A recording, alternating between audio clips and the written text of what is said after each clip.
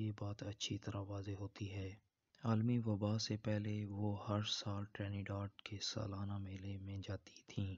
کپڑے ہتھیار ہیں۔ آپ کو انہیں جسم کی نمائش کے لیے استعمال کرنا چاہیے، نہ کہ چھپانے کے لیے۔ انسان، ان کا سالانہ میلے کے لیے رال ماند، رال پر ماند کا تیار کردہ مخصوص لباس اور وہ یوما بینڈ کا حصہ تھیں۔ تمام ملبوسات ہماری وابستگیوں کا اظہار ہیں۔ یہ ناگزیر طور پر ہماری نسلوں کا پتہ دیتے ہیں۔ ماضی میں یہ، ماضی میں یہ موڈز ورسز راکرز تھے۔ یہ پھر پنک ہوئے۔ یا ممکنہ طور پر گوتھ فوربس بیل۔ ہماری چند گہری فرقہ وارانہ درجہ بندیوں سے بچنے کی کوشش کر رہی ہیں۔ دو ہزار سولہ میں ایک مشہور فیشن ایڈیٹر آئے اور کہا کہ اگر میں سیاہ فام ماڈل کی تصویر بیرونی صفحے پر لگاتا ہوں تو یہ بکے گا نہیں۔ میں یہ بات غلط ثابت کرنا چاہتی تھی۔ یہ شاید نفسیاتی تباہی کا باعث بن رہا تھا۔ انہوں نے حقیقی مجلے مارکیٹ ریسرچ میں ایک مضمون مضمون شائع کیا جس میں بتایا گیا کہ سیاہ فام ماڈل کی تصویر سے آراستہ ایک پرفیوم کی خریداری کے لیے سیاہ فام لوگ زیادہ قیمت خرچ کرنے کو تیار تھے۔ سیاہ اور گندمی رنگت والے افراد کی قوت خرید حیران کن حد تک مضبوط ہے۔ ہم ان کی نمائندگی میں اضافہ دیکھ رہے ہیں، لیکن سیاہ فام فیشن ماڈلز نسبتاً اب بھی کم نمائندگی رکھتی ہیں۔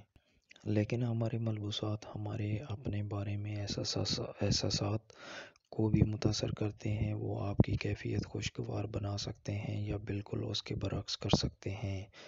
فوربس بیل ایک تجربے کا حوالہ پیش کرتی ہیں، جس میں لوگوں کو سپرمین والی ٹی شرٹ سپرمین والی ٹی شرٹ پہننے کو دی گئی تھی۔ انہوں نے ایسے پابند گروہ کی نسبت خود کو زیادہ مضبوط سمجھا جنہیں سپرمین کٹ فراہم نہیں کی گئی تھی۔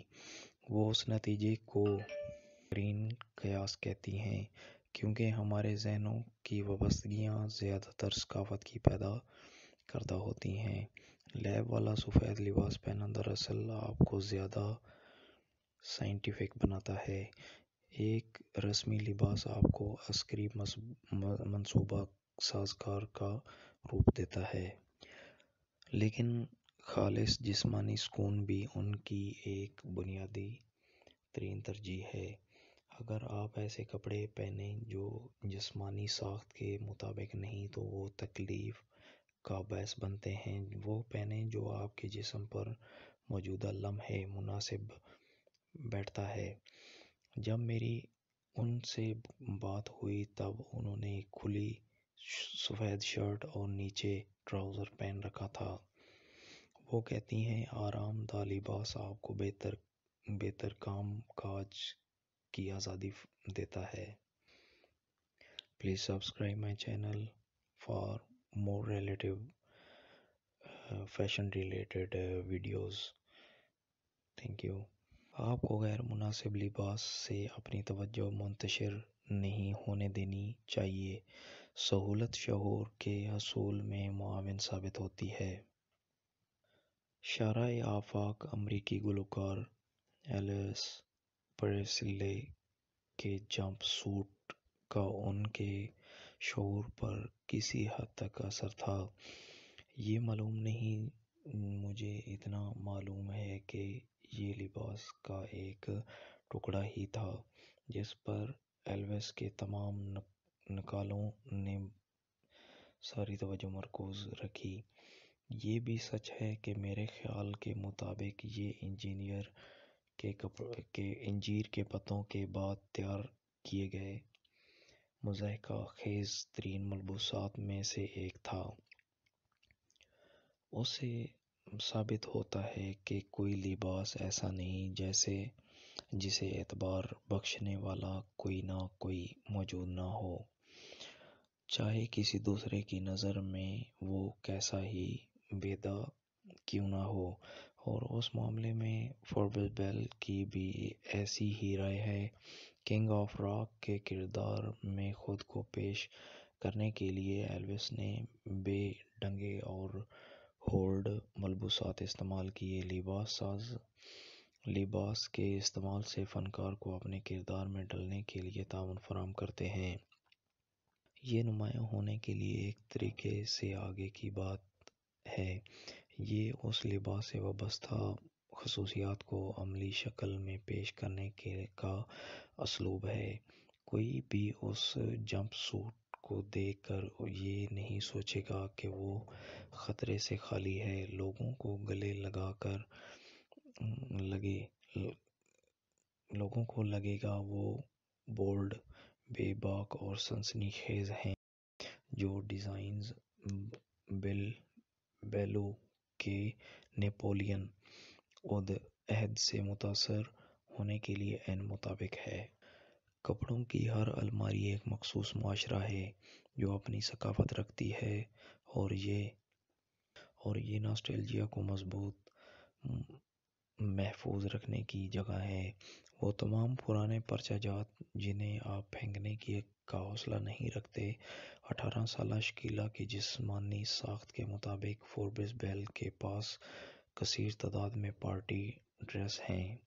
میں انہیں خود سے جدا نہیں کر سکتی، یہ وہ ہیں جو میں ہوا کرتی تھی۔ آپ کے کپڑے میموری باکس کی طرح ہیں۔ وہ آپ کو ماضی میں لے جاتے ہیں۔ اپنی کپڑوں کی الماری میں جھانکتے ہوئے مجھے لگتا ہے کہ اگر یہ اگلے چند ہزار برسوں میں دوبارہ کھلی کھلی گئی کھلی، کھولی گئی تو اس بات کا قوی امکان ہے کہ شاید مجھے غلطی سے کوئی پال سمتھ سمجھ لیا جائے۔ میں شاید ایک لیبل کو حد سے زیادہ پسند کرنا، کرنے کی گنہگار ہوں۔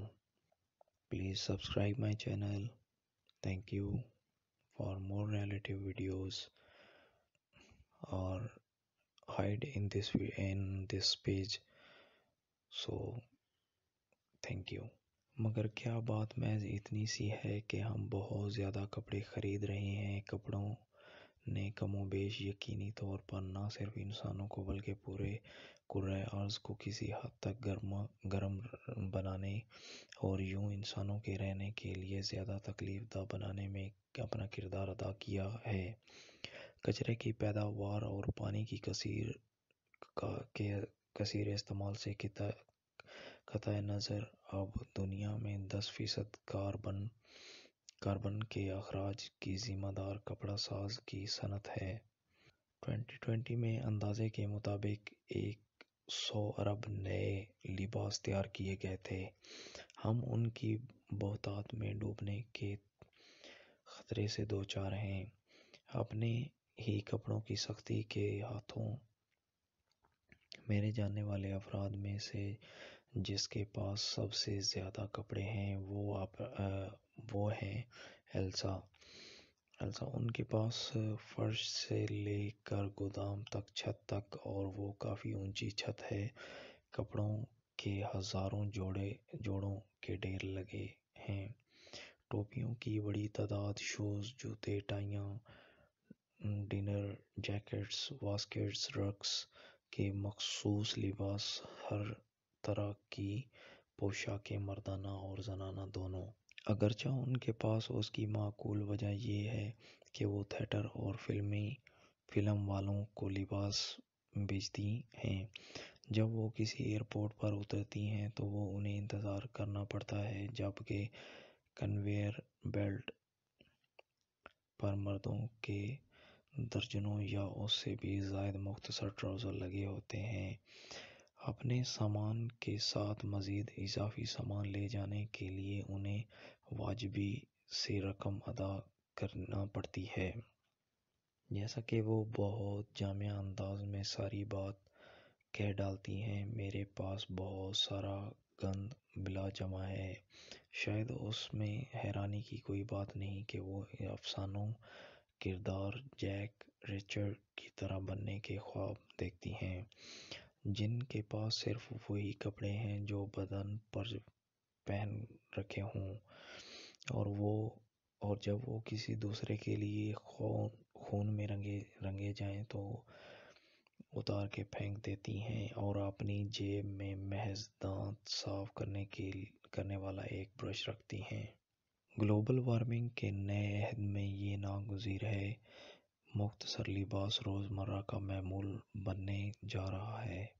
چاہے آپ برہنگی کے علمبردار نہ ہوں، لیکن یہ بات تسلیم کرنے، کرنا پڑے گی کہ سب کچھ اتار پھینکنے میں بالخصوص گرمیوں کے بے لباس و تاراکی میں ایک آزادی کی احساس ہے، کا احساس ہے۔ یہاں تک کہ ایسے پیشہ ور افراد جن کا ذریعہ معاش ہی کپڑے ہیں، وہ بھی دوبارہ دوبارہ بے لباس ہونے کی شاید خواہش رکھتے ہیں، چاہے مختصر وقت کے لیے ہی سہی شاید دلی طور پر ہم سب ملین برسوں پہلے کے سنہرے دور میں لوٹ جانا چاہتے ہوں۔